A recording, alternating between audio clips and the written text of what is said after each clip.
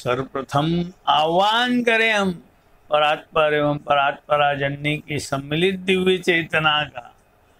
अवतरित होकर वर्तमान में परात्पर के प्रतिनिधि स्वरूप प्रादुर्भूत हुए महायोगी महर्षि श्री अरविंद द्वारा विरचित सावित्री महाकाव्य के book one, canto three, the yoga of the king, the yoga of the soul's release छत्तीसवें पृष्ठ की इक्कीसवीं पंक्ति पर इकहत्तरवे इंस्टॉलमेंट में हमारी चेतना को अपनी चेतना के साथ रखकर ऊर्ध्वारोहण कराएँ, ताकि रखे गए भाव को, विचारणा को, मंत्रों को, सूत्रों को प्रकट होने पर हम ठीक ठीक देख सके, जान सके, सीख सके, समझ सकें। तद अनुरूप साधना के ध्रुव पर अपना कदम आगे बढ़ा सकें, इसी मनोभाव से प्रयत्न करते हैं। कहते हैं, महायोगी inspired by silence and the closed eyes, sight, his force could work with a new luminous art and the crude material from which all is made and the refusal of inertia's mass and the grey front of the world's ignorance and nescient matter and the huge error of life गुरु के कुछ भाव को साथ रखकर सरल भाव की ओर आगे बढ़ते हैं। अंतरात्मा एवं आत्म साक्षात्कार करके परा चेतना में प्रवेश पाकर विश्वात्मा संग एकत्व में, समत्व की उच्च स्थिति में स्थित रहकर राजा अशुपति की सत्ता स्तरों में आत्मशासन स्थापित होने के विरले क्षण भाव उपस्थित हुए थे।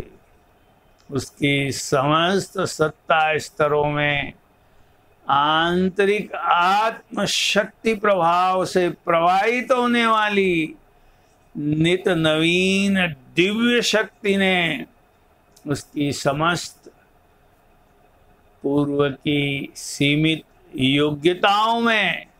अब अधिक योग्यता का विस्तार प्रवाहमान होने लगा था।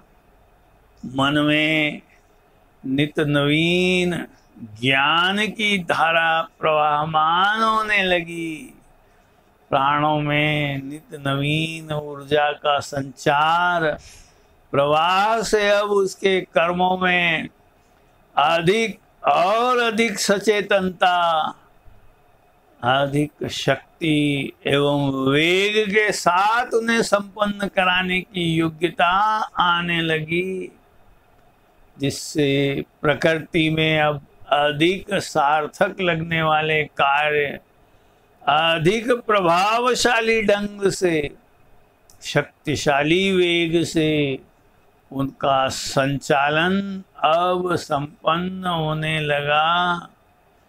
यहाँ तक कि ध्यान की गहराई में बंद नेत्रों पर भी होने वाले अंतरदर्शन, जो आत्म शक्ति बल से नीरवता और शांति की स्थिति में स्थित रहकर व्यक्त अनगढ़ जड़ीभूत पदार्थों, जिससे समूचा जगत विश्व ब्रह्मांड बना है, ऐसे कच्चे पदार्थों की बदलने की अस्वीकृति पर भी और जगत अज्ञानता के तमसिल मोर्चे पर और इस निश्चेतन आदिम जड़ता पर और जीवन की इसी विशाल भूल पर अब आत्म ज्योति कला से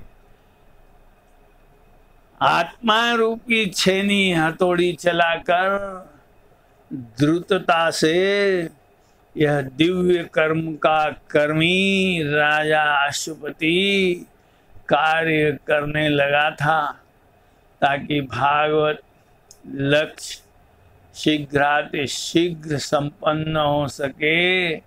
उसके किए जाने वाले कार्यों का प्रभाव अब विश्वव्यापी हो गया। आज हम इस सारगर्भित विषय को यही विराम देते हैं।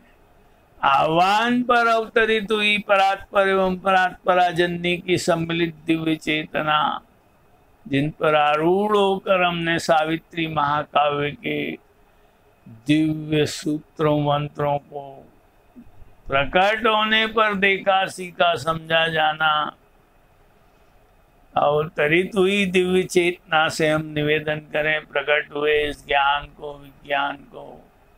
हमारी सत्ता के स्तरों में उचित स्थान प्रदान कराएँ ताकि जब जब साधना के दुरुपद पर हमें ज्ञान विज्ञान की आवश्यकता हो, तब तब यह ज्ञान विज्ञान जागृत होकर साधना के दुरुपद पर हमारा नेतृत्व कराए।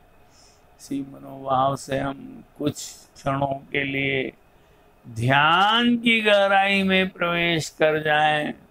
सचेतन, सावधान, सावचेत बने रहें।